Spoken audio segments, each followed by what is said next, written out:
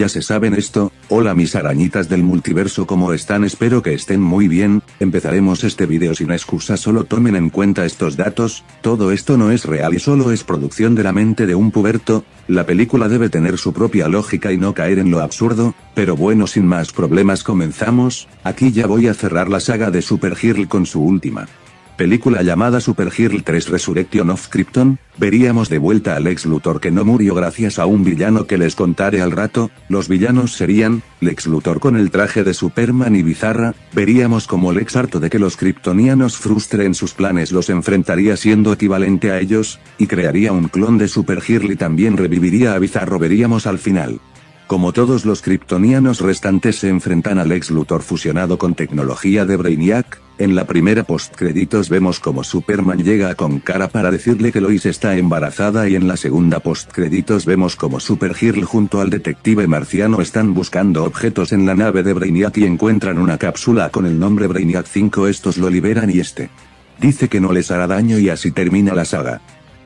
Sí ya sé que me he tardado en introducirlo pero hablamos del proyecto titulado Shazam Thunderstroke, en esta película veremos el origen de Shazam, veríamos muchos cameos, los villanos serían Mr. Mind y el Dr. Sivana, veríamos a lo largo de la película como Shazam intenta ayudar a la Liga de la Justicia pero estropeando todo y dando cringe, hasta que descubriría que si se quiere ganar un puesto, en la Liga de la Justicia es haciendo el bien sin incomodar a alguien, veríamos como Superman antes intentaba derrotar a los villanos en turno pero Shazam lo ayuda y la batalla final es Shazam y Superman versus el Dr. Sivana y Mr. Mind, en la primera postcréditos vemos como Lena Luthor ve a Shazam y ve que sería una amenaza potente para LexCorp y vemos cómo empieza a crear un robot para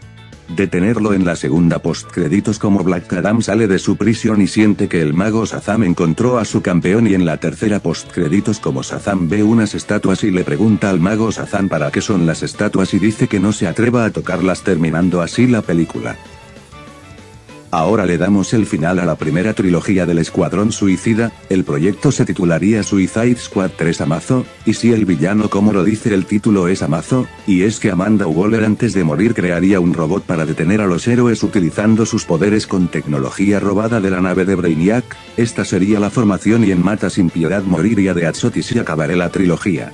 Matando a Deadshot, también veríamos como Rick Flag pierde su brazo pero utilizando tecnología nuevamente de la nave de Brainiac se armaría un brazo biónico, en la primera postcréditos vemos como el escuadrón se reúne en las calles y Arlie dice, oigan qué les parece si continuamos con nuestras misiones suicidas y en la segunda postcréditos vemos como en las calles el escuadrón camina pero alguien se presenta y es Bronze Tiger que los ocupa para una misión. Antes de continuar haré estas aclaraciones, a partir de aquí la fase se dividirá en dos sagas, la primera que es donde está el escuadrón suicida y la otra que sería la de Black Adam, y también por último esta será la fase más larga así que ojito además de que les quería dar la noticia de que solo serán cinco fases así que nos falta una, si puede sonar triste pero después de terminar les diré mi cast, la, Siguiente serie se titularía Wonder Woman Donna Troy, si será una serie de Donna Troy donde la veremos continuar con el legado de Diana, los villanos serían Giganta y Max Baylor veríamos una serie muy interesante estos serían los episodios en la primera postcréditos vemos como Donna Troy recibe una invitación con un logo que tiene una T en un círculo y en la segunda postcréditos vemos una voz que dice, ya se despertó ahora es nuestro turno y se acaba. Ahora veríamos un equipo que debía haber introducido hace mucho y es el proyecto titulado Teen Titans Justice Legacy, esta sería la formación, el villano sería Deathstroke, veríamos una película tipo Shazam, también veríamos un enfrentamiento personal de Nightwing con Deathstroke, pero en medio de la película se une como villano Ravager la hija de Deathstroke la historia estaría un poco basada en él primer episodio de Young Justice, y al final de la película vemos como los titanes descubren que Cyborg antes de morir pasaría su cerebro a una inteligencia artificial y la introducirían en la torre y Cyborg reviviría, en la primera postcréditos vemos como en el espacio se ve una nave con tonos morados y verdes y en la segunda postcréditos vemos como Raven platica con su padre Trigon. Advirtiéndole que destruirá la Tierra. Ahora podrían estar viendo un patrón y es, nuevo personaje, personaje antiguo y nuevo o viejo equipo, pues ahora introduciré a un personaje nuevo que sería Hawkman sería una serie tipo Eternals, los villanos serían Lion Mane y Adriana Tomaz, Hawkgirl también estará en la serie pero como personaje secundario, como saben en los cómics Adriana es esposa de Black Adam y ella sería enviada a matar a Hawkman y Hawkgirl porque ellos son los únicos capaces de derrotar a Black Adam. Este sería el orden de los episodios. En la primera postcréditos vemos como Hawkman y Hawkgirl se reúnen con un equipo chico de la Liga de la Justicia y en la segunda postcréditos vemos como Félix Fausto revive y así termina la serie.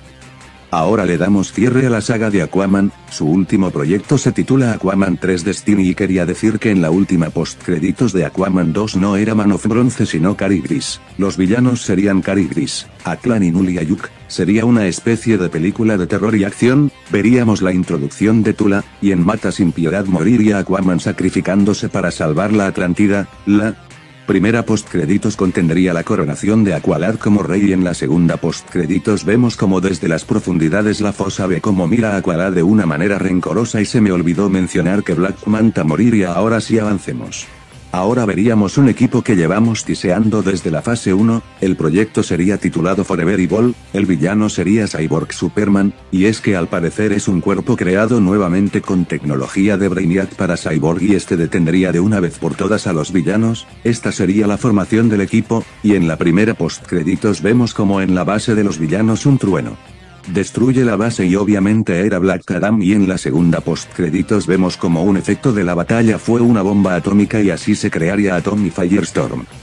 Aquí se rompería el patrón porque ahora tendríamos una película, Bada Justice League of America esta sería la acción que serían personajes nuevos o viejos, los villanos serían Lena Luthor, Killer Frost y Metron que ya sé que Metron no es villano pero lo veremos en ese enfoque y explicaré por qué hasta la última fase, veríamos cameos de la Liga de la Justicia antigua, y también un mini cameo de